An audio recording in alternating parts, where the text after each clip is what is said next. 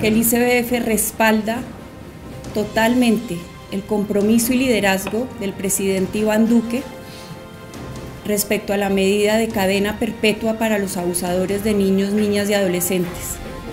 Creemos que es una pena ejemplarizante que se justifica porque los derechos de los niños, niñas y adolescentes prevalecen.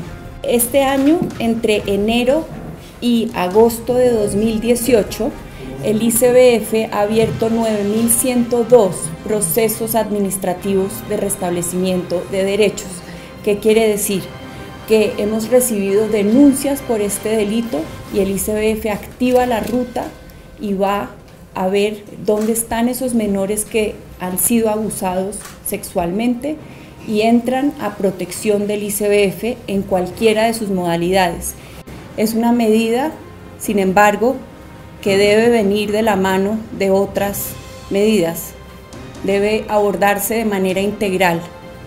Eh, por integral nos referimos a fortalecer también el aparato judicial, debe reducirse la impunidad en los casos de abusos contra los niños, niñas y adolescentes.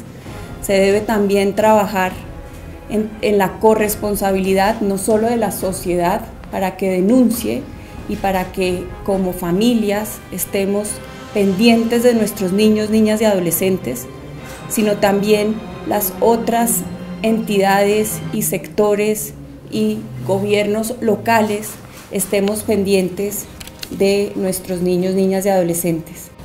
Bogotá lidera el número de procesos administrativos de restablecimiento de derechos por este delito, con 2.245 le sigue Valle del Cauca con 946, Atlántico con 569, Cundinamarca con 553, Magdalena con 389, Huila con 350, Bolívar 314, Cesar 312, Córdoba 304, Antioquia 297, procurando para que no sean internados y no tengan que ser retirados de sus familias pero eso lo verificamos cuando la familia tenemos que garantizar que sea un entorno protector. Solo lo retiramos de su familia cuando estamos, estamos seguros de que su familia no es la que lo está victimizando.